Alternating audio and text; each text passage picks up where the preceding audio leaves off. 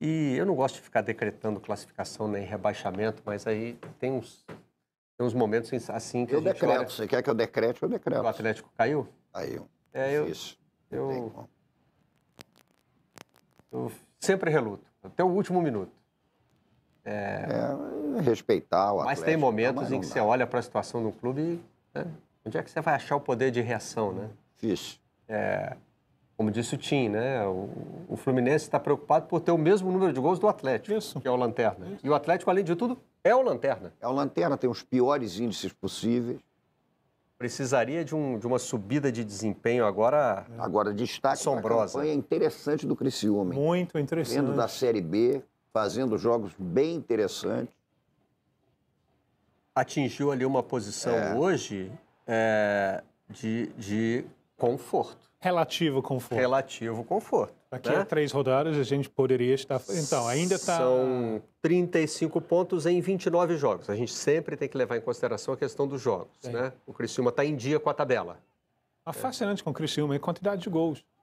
Exatamente o contrário de Fluminense e Atlético, né? Porque eu nunca espero isso de, de Criciúma, né?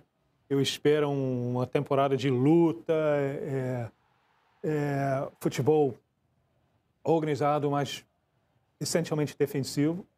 Este ano a- a- o caminho tem sido diferente. Tem, tem uma característica que a gente esperava que realmente se confirma, né? É um time difícil de bater em casa. Uhum. Né? No seu estádio é um. É, é um, um- um- um time que consegue resultados importantes. Mas não nesse sentido de ficar trancadinho na defesa, jogando jogar por frente. uma bola. É um time muito conectado com a cidade também. Você tem um ambiente ali em Criciúma, no estádio e tal. E vai para frente. É, e talvez tenha um, um dos grandes personagens da temporada. Né? Bolassi? É, gente, Sensacional. a gente viu aí. Sim. É. Sim, temporada muito interessante dele.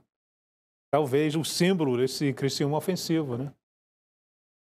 E eu me surpreendi, eu confesso.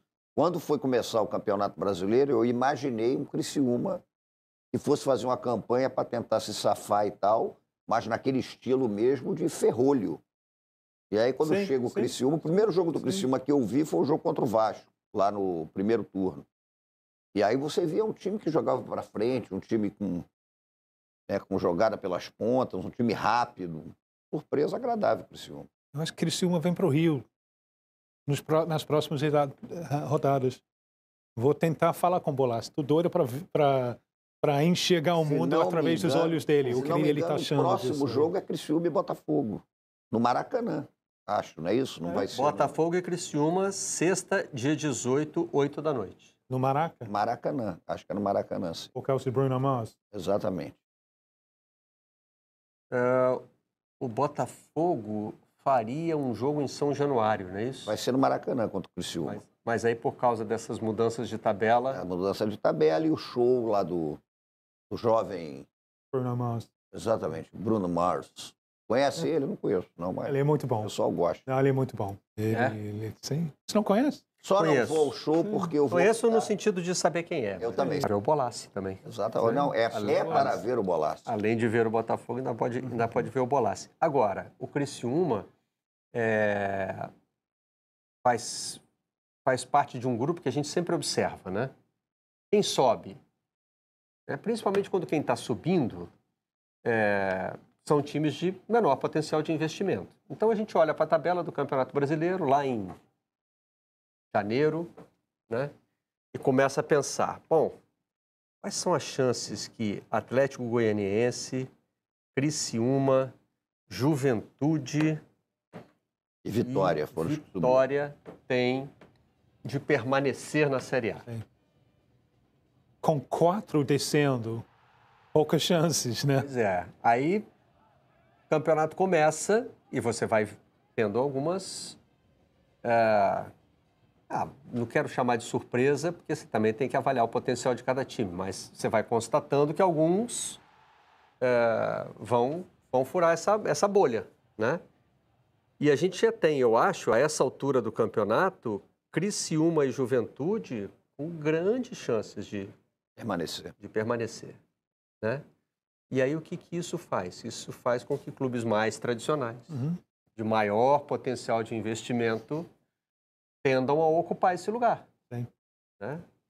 Então a troca que a gente tem hoje é, é porque a gente viu durante muito tempo Fluminense e Corinthians ali brigando para não cair. Hoje, hoje especificamente, a gente está falando do Fluminense fora da zona do rebaixamento e o Corinthians ainda dentro.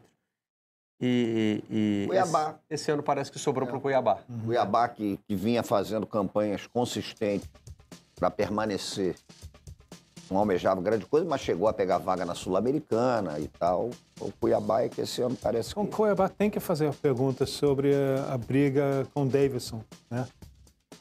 O Davidson é, com toda a bagagem que ele tem, ele é muito bom, ele um centroavante muito passudo, né? Ele decidiu o jogo a favor de Galo contra o Fluminense semana passada.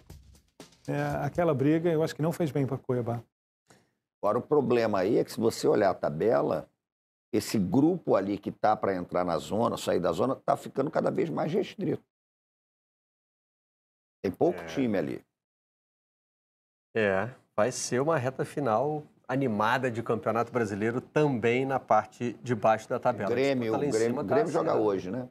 O Grêmio, Grêmio o Fortaleza. pego minha colinha para você, joga hoje com o Fortaleza às 21h30 Esse jogo é na. Arena. Esse jogo é interessante.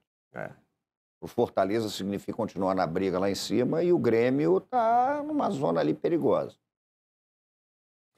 Bom, vamos agora até São Paulo, chamar o Léo Lepre para participar